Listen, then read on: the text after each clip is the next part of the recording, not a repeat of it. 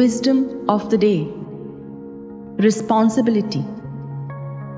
The way to be accurate is to be responsible at all times. Contemplation. Very often, we find ourselves leaving things to chance or to other people. We tend to take care of the big issues and become careless with little things. When we delegate the task for others to take care of, they don't do them. We become disappointed.